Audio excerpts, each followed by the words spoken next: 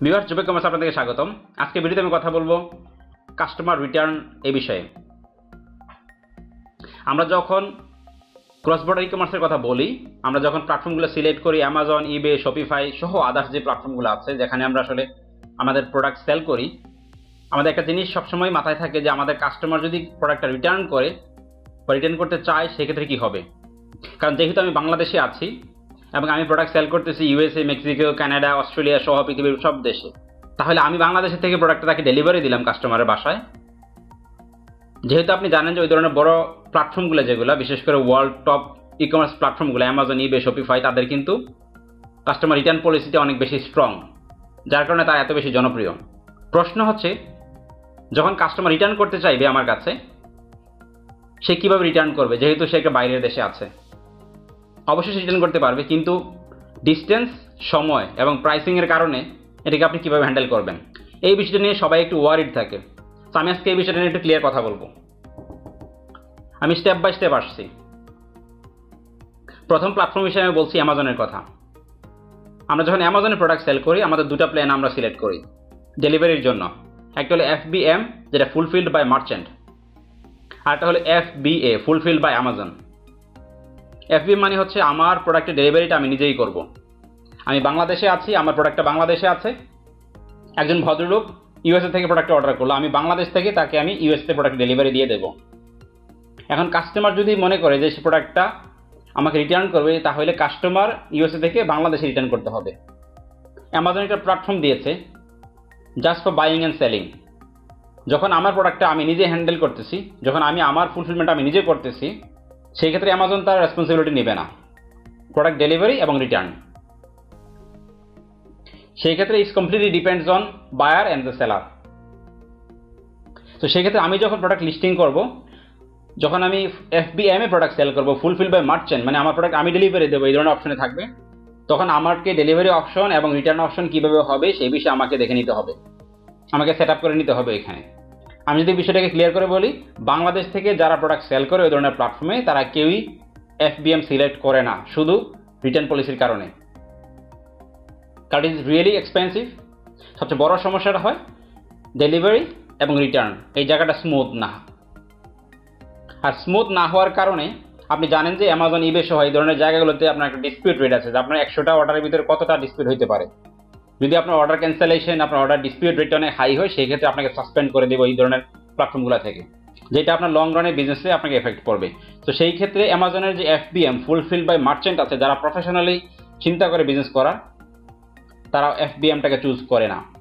আসেন এবার FBA FB মানে ফুলফিল বাই অ্যামাজন যেখানে আমি আমার টোটাল ইনভেন্টরিটা অ্যামাজনের ওয়ার হাউসে থাকবে আমার কোনো অর্ডার যখন হবে, তখন অ্যামাজন তাদের ওয়ার হাউস থেকে ওই অর্ডারটাকে ফুলফিলমেন্ট করবে। তার মানে হচ্ছে ওই অর্ডারটা অ্যামাজনের ওয়ার হাউস থেকে কাস্টমার বাসায় পৌঁছে দিবে। যেখানে অ্যামাজন পিক প্যাক ডিসপাস থেকে শুরু করে রিটার্ন হ্যান্ডেলিং সহ তারা করবে।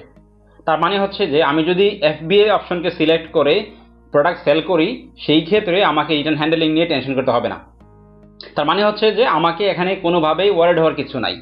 কারণ আমার প্রোডাক্টের ডেলিভারি এবং রিটার্ন হ্যান্ডেলিং সহ যাবতীয় অ্যাক্টিভিটিস অ্যামাজন করবে। এখন প্রশ্ন হচ্ছে, যখন প্রোডাক্টটা রিটার্ন আসবে আমার কাছে অ্যামাজনের ওয়ার হাউসে তখন কি হবে?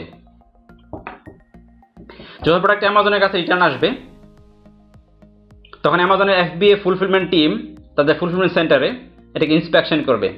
ইন্সপেকশন করার পরে তারা যদি মনে করে যে আপনার প্রোডাক্টটা আনসেলেবল মানে আর সেল করা যাবে না, সেই ক্ষেত্রে তারা ওইটাকে রিমুভাল অর্ডারে দিয়ে দিবে। এখন প্রশ্ন হচ্ছে যে, আমার প্রোডাক্টটা কখন আনসেলেবল হবে? তার মানে হচ্ছে যে আপনার প্রোডাক্টের আয়দার ড্যামেজ অথবা part of your product is missing অথবা সাম হাউ এই প্রোডাক্টটা সেল হবে না। সেই ক্ষেত্রে আপনি আপনার অ্যামাজনের ড্যাশবোর্ডে সেটিংস অপশনে গিয়ে আপনি অটো রিমুভাল দিয়ে রাখতে পারেন। সেই ক্ষেত্রে after thirty days they will automatically throw it way যেহেতু আপনি সেল করতে পারবেন না, সেটা আপনার ওয়ার হাউসে রেখে কোনো লাভ নাই। কারণ যদি ওয়ার হাউসে থাকে, আপনাকে ওয়ার হাউসে ফি দিতে হবে। আর যদি আপনার ইনভেন্টরিটা সেলেবল হয়, তার মানে সেল করা যাবে তখন আপনার ওই প্রোডাক্টটা আপনার ইনভেন্টরিতে আবার ব্যাক হবে এবং আপনারটা আবার সেল হবে অ্যাজ এ নিউ কন্ডিশন তো সেক্ষেত্রে আপনাকে ওয়ারিড হওয়ার কিছু নাই। আর এই টোটাল অ্যাক্টিভিটিসগুলো আপনি ইমেল নোটিফিকেশনে পাবেন।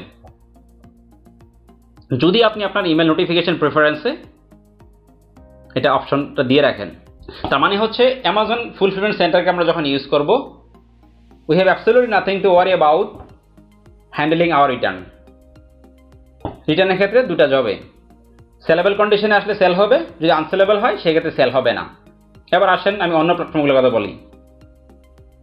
ইবে আমরা যখন ইবেতে প্রোডাক্ট সেল করি, সেক্ষেত্রে আপনারা জানেন যে অ্যামাজনের মাল্টি চ্যানেল ফুলফিলমেন্ট বলে একটা অপশন আছে। যদি জানেন ভালো, যদি না হয়, তাহলে আমার একটা ভিডিও আছে, দেখে নিতে পারেন, অথবা প্রচুর ইংলিশ কন্টেন্ট আছে, দেখে নেবেন। যেখানে অ্যামাজন শুধু বলছে যে, তুমি অন্য কোনো প্ল্যাটফর্মে প্রোডাক্ট সেল করো, তাতে কোনো সমস্যা নাই।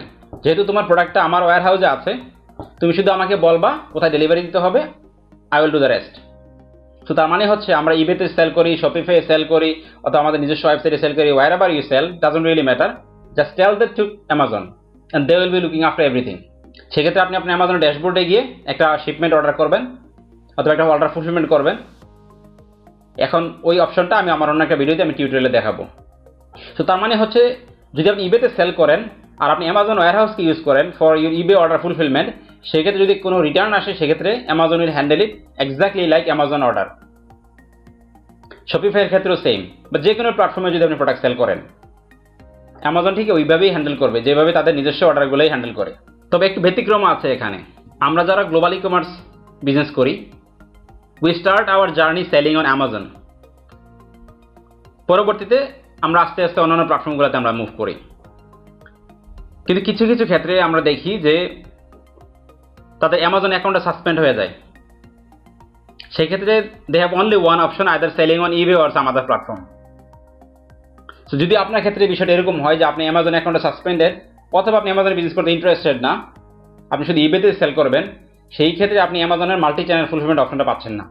কারণ অ্যামাজন মাল্টি চ্যানেল ফুলফিলমেন্ট অপশনটা শুধু তাদের জন্যই, যারা অ্যামাজনের প্রোডাক্ট সেল করবে তাদের জন্য।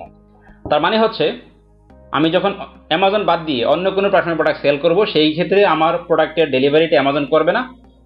আয়দার আমাকে বাংলাদেশ থেকে করতে হবে, অথবা আমাকে অন্য একটা ওয়ে খুঁজে বের করতে হবে। তাহলে অন্য ওয়েটা কি? যখন থেকে ই কমার্স এস্টাবলিশড আর ওভারসিজ সেলাররা যখন ডিফারেন্ট কান্ট্রিতে প্রোডাক্ট সেল করা শুরু করল, এই ই কমার্স ইন্ডাস্ট্রিতে আরও একটা সার্ভিস অ্যাড হয়েছে, যেটাকে বলা হয় ই কমার্স ফুলফিলমেন্ট সার্ভিস যেখানে সারা পৃথিবীতে ফুলফিলমেন্ট সেন্টার গড়ে উঠেছে। তারা বেসিক্যালি আপনার প্রোডাক্টের স্টোর করবে এবং আপনার অর্ডারের ফুলফিলমেন্ট করবে। Fulfilment includes pick pack dispatch return handling pick মানে হচ্ছে আপনার ওয়ার হাউস থেকে পিক আপ করে নিয়ে আসা প্যাক মানে হচ্ছে কোনো প্রোডাক্টটাকে বক্সে দিয়ে লেবেলিং করা। তারপর ডিসপাস মানে হচ্ছে এটা আপনার ওই ওয়ার হাউস থেকে আপনার কাস্টমার বাসায় পৌঁছে দেওয়া। রিটার্ন হ্যান্ডেলিং মানে হচ্ছে কাস্টমার যদি এটাকে রিটার্ন করে, তাহলে ওই ওয়ার হাউস আবার ব্যাক আসা।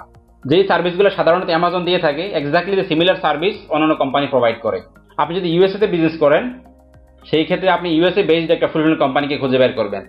আপনি যদি ইউকেতে বিজনেস করেন, সেই ক্ষেত্রে আপনি ইউকে বেসড একটা ই কমার্স ফুলফিলমেন্ট কোম্পানিকে খুঁজে বের করবেন। এখন আপনি কার সাথে বিজনেস এগ্রিমেন্টে যাবেন? It's of course depends on your sell volume এক একটা কোম্পানি এক এক ধরনের রিকোয়ারমেন্ট আছে। তো সেই ক্ষেত্রে আপনি তাদের সাথে নেগোসিয়েট করে কোটেশন নিয়ে আপনার কাছে যে ভালো লাগবে। আপনার কাছে যে কোম্পানিটা ভালো লাগবে, তাদের সাথে এগ্রিমেন্ট করবেন। আমি আমার ভিডিও ডিসক্রিপশনে দেওয়া দেওয়ার চেষ্টা করব কিছু কোম্পানির লিঙ্ক আপনার সাথে দেখে নিতে পারেন। And they will be looking after you return তার মানে হচ্ছে আমরা যারা বাংলাদেশে বসে আছি, আমরা যারা বিশ্বের বিভিন্ন দেশে প্রোডাক্ট সেল করতে চাই, আমরা যারা ক্রস বর্ডার ই কমার্স নিয়ে কথা বলি, আমরা যারা cross border e commerce business করতে চাই, আমাদের রিটার্ন হ্যান্ডেলিং নিয়ে কোনো ধরনের টেনশন করার কিছু নাই। এখন এই বিষয়গুলো অনেক বেশি অ্যাডভান্স এবং সারা পৃথিবীতে এই ইন্ডাস্ট্রিটা অনেক বেশি আপডেটেড আমরা বাংলাদেশের ক্ষেত্রে হয়তো আমরা কিছুটা পিছিয়ে আছি, কিন্তু বাইরের দেশে কাস্টমার সার্ভিস বলেন রিটার্ন হ্যান্ডেলিং সহ ই কমার্স ডেলিভারি থেকে শুরু করে রিলেটেড যতগুলো সার্ভিস আছে, ওই সার্ভিসগুলো অনেক বেশি স্মুথ এবং ফাস্টার সো আপনি যদি চিন্তা করে থাকেন যে আপনি এই ধরনের ইন্ডাস্ট্রিতে ইনভলভ হবেন, সেই ক্ষেত্রে রিটার্ন হ্যান্ডেলিং নিয়ে কোনো ধরনের ওয়ারিড হওয়ার কিছু নাই। So that is how we handle our customer return Amazon FBI eBay এবং ক্রস বর্ডারের যে কোনো বিষয়ে কোনো কিছু জানার থাকলে আমাদেরকে লিখবেন? আমাদের ফেসবুক পেজ ওয়েবসাইট এবং আমাদের ইমেল অ্যাড্রেসে আমাদের পরবর্তী আপডেট এবং আমাদের নিয়মিত আপডেট পাওয়ার জন্য আমাদের ফেসবুক পেজ গ্রুপ এবং আমাদের ইউটিউব চ্যানেলে সাবস্ক্রাইব করে রাখতে পারেন। Thanks for watching